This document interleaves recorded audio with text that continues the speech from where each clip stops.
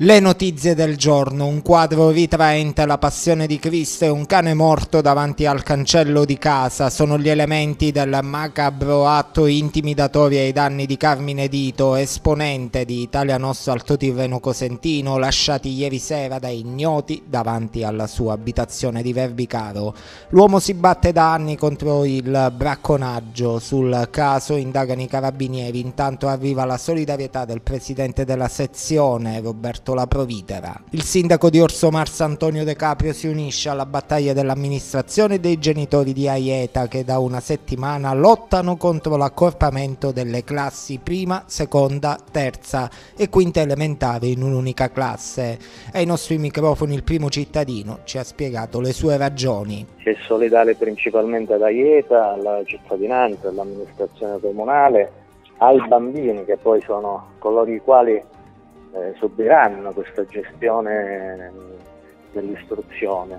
Eh, si è solidale ad un principio che è quello di eh, evitare uno spopolamento pilotato che si sta portando avanti nelle piccole comunità, quelle comunità dell'entroterra che io definisco eh, comunità e territori che danno il valore aggiunto all'Italia e il sindaco di Verbicaro Francesco Silvestri è intervenuto sulla grave situazione in cui versano i comuni dell'entroterra, tra i quali il suo ci stanno togliendo il diritto di governare, questo ha dichiarato. Ci sono tanti problemi tutti i giorni eh, ormai nei nostri comuni, soprattutto nei comuni piccoli, eh, dove eh, le esigenze eh, sono tantissime, eh, però oh, la copertura economica eh, con i tagli che ci sono stati in questi ultimi anni dai vari governi è un grosso problema. 4.000 hanno sfilato a Viace sabato scorso solidali con il sindaco Mimmo Lucano che ha salutato dalla finestra della sua abitazione dove è ancora gli arresti domiciliari con il pugno chiuso i simpatizzanti. Intanto ieri nel corso della marcia della pace di Assisi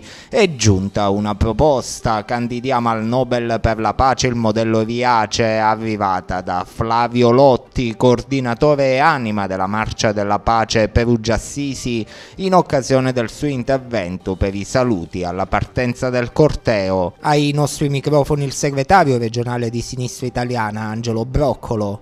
Si è ritrovato un mondo che non vedevamo da molto molto tempo, unito a contrastare questo disegno di barbarie che in Italia ed in Europa rischia di prendere piede, ancora non ha preso piede si è tenuto presso l'aula Caldora dell'Università della Calabria il convegno Smart City and No Soil Sailing, Energia e Suolo, le città verso uno sviluppo sostenibile, organizzato dalle commissioni urbanistiche e territorio e rapporti con l'Università dell'Ordine degli Ingegneri di Cosenza, insieme alla Fondazione Mediterranea per l'Ingegneria.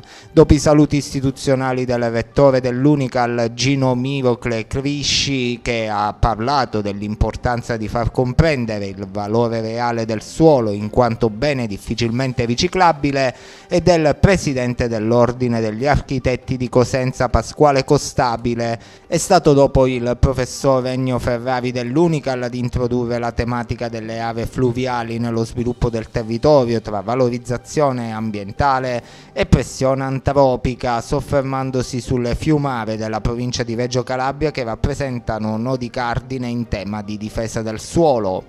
Una sanità che funziona eccellente del nostro territorio, pur se ubicata nel martoriato plesso dell'ospedale di Praia Mare, il reparto di dialisi ha ancora una volta mostrato come si può lavorare bene salvando vite umane. Lo ha affermato in una nota Antonello Troia, responsabile provinciale di Cosenza dell'ANED, Associazione Nazionale Dializzati.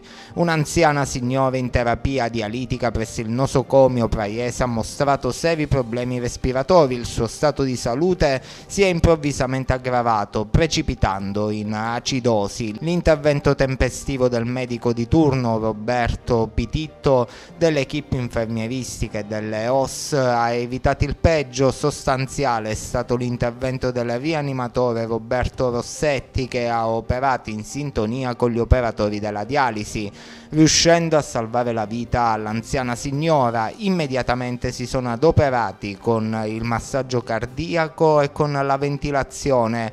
Solo dopo una buona mezz'ora la donna vi preso conoscenza. È tutto, grazie per averci seguito.